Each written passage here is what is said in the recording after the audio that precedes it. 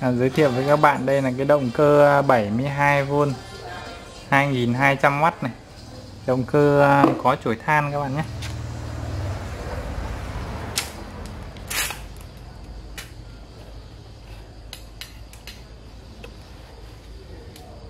72V 2200W vòng tua là 3500 vòng trên phút.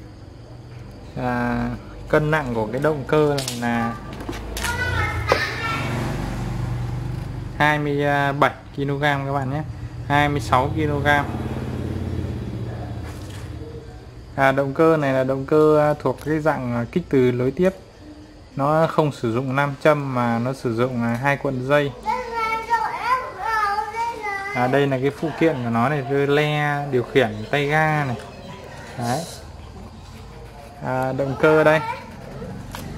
Cái này à, cái, động cơ này thì à, có tổng chiều dài là 40 cm đấy. chiều dài từ à, chân đế lên đến à, chiều cao đỉnh của nó là 20 cm 19 cm đấy. Cái dòng động cơ này nó rất khỏe.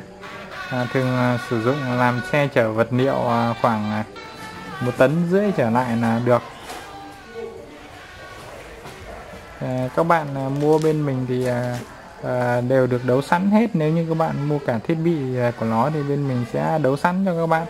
Đảo chiều dơ le ổ khóa sạc đồng hồ điều khiển. Các bạn mua cái gì thì mình sẽ đây nha các bạn nhé trọng lượng của nó là 26 kg rồi này. Đấy.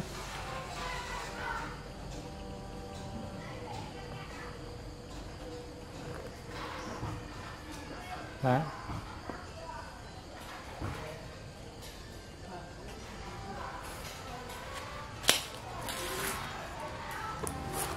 đây mình à, cắm thử cho các bạn xem nhé.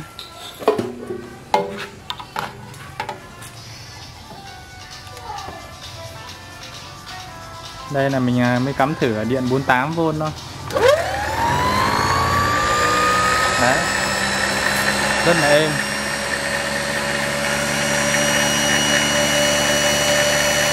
Đây các bạn.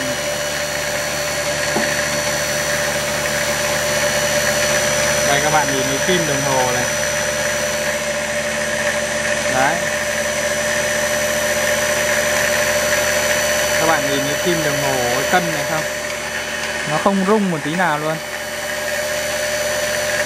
Động cơ rất là êm. Êm và chuẩn cho nên là cái cân nó không rung. Đây các bạn nhìn cân cảnh đấy, đấy rất là êm, không hề rung.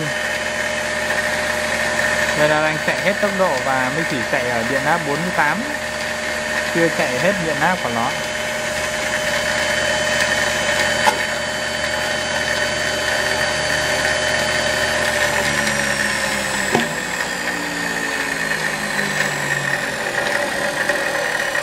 Và động cơ này thì à, có thể đảo chiều các bạn nhé có giảm tốc rất là khỏe. Đây trục da của nó là trục 21 22 mm các bạn nối với lại bộ cầu các đăng thì chỉ cần mua thêm một bộ trục các đăng nữa thôi. Một bộ trục các đăng bên mình bán thì nó khoảng à, 470.000 đồng. Các bạn có ý định à, làm xe chở vật liệu thì có thể xài loại này cũng được. À, loại này thì nó có cái ưu điểm của nó là rẻ khỏe à, tất nhiên thì à, nó à, bảo dưỡng à, phải tương đối là nhiều. Nó không thể bằng chổi than được nhưng nó có cái ưu điểm đối với các bạn là à, đóng xe dịch vụ thì nó rẻ và nó khỏe. À, cũng với cái giải này của thằng ba pha thì điều khiển của nó rất là đắt. Nên khi các bạn thay thế điều khiển thì à, giá trị của nó rất là cao nên là các bạn nên cân nhắc à, dòng ba pha thì nó ăn nhẹ điện và động cơ thì gần như không bao giờ hỏng. Rất là ít khi hỏng. Nhưng điều khiển mà quá tải thì à, nó dễ bị hỏng hư à, và điều khiển thay thế rất là đắt. Còn cái à, dòng chổi than thì nó có ưu điểm là điều khiển nó rất là rẻ nó chỉ có à, 400 hơn 400 đến 500 một cái điều khiển thôi. Rẻ gấp 4 lần lần so với cái động cơ ba pha kia. Đấy. Còn động cơ thì nó cũng chỉ ngang ngang giá thôi rẻ hơn động cơ chổi than nó rẻ hơn tí. Cho nên là khi các bạn làm xe thì các bạn lưu ý thì mỗi thằng nó có cái nhược điểm riêng. Đối với các bạn mua về tự làm cho gia đình chạy thì à, có thể mua ba pha cũng được nhưng phải à, biết cách chạy. Nếu như các bạn chạy cố chạy quá thì nó dễ gây ra hỏng điều khiển thì nó rất là tốn kém. Còn các bạn làm xe mà với mục đích gọi là thương mại để bán đi thì nên làm dòng chuỗi than. Thì à, việc bảo hành nó sẽ đỡ tốn kém với điều khiển nó rẻ. Tuy nhiên con ờ, động cơ chổi than này thì ờ, nó kén thời tiết ờ, nếu mà mưa gió mà để nó ướt hoặc là nó ướt cổ góp thì nó nhanh mòn. Hoặc là chổi than mà các bạn quên không thay để muộn, thay muộn quá, nó mòn sâu quá thì nó xước cổ góp ấy thì nó rất là ăn chổi than vì vậy thường thường các bạn kiểm tra thử than thường xuyên à, 3 tháng một lần. Đấy. À, đấy là những cái chia sẻ của mình à, à, cho các bạn lựa chọn hai cái dòng động cơ này. Thì tùy theo mục đích sử dụng và à, điều kiện kinh tế thì các bạn đầu tư cho phù hợp.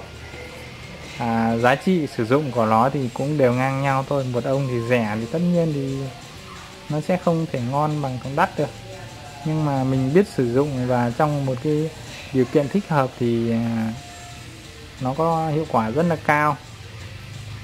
À, cho nên là cái câu nói về đồ tốt hay là đồ xấu hay là đồ ấy thì nó phụ thuộc vào à, cái hoàn cảnh và cái điều kiện sử dụng. Chứ không phải là cứ đồ đắt tiền thì được gọi là đồ tốt. Đấy. À, đồ tốt đối với người sử dụng chính là cái đồ phù hợp nhất đối với người sử dụng và cảm ơn các bạn đã theo dõi video của mình. À, các bạn nhớ ấn like và đăng ký kênh à, để à, bật chuông thông báo nữa. Thì khi mình đăng video lên thì à, à các bạn à, à, sẽ nhận được thông báo. Đây là chi tiết của đây.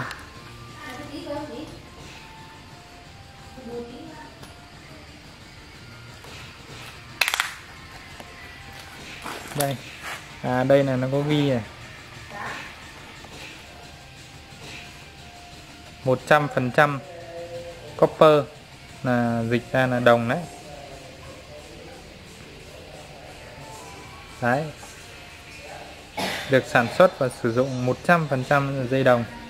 Các bạn nhé. Đấy dây đồng không phải là dây nhôm cho nên các bạn cứ yên tâm. Động cơ là hàng chất lượng và khi uh,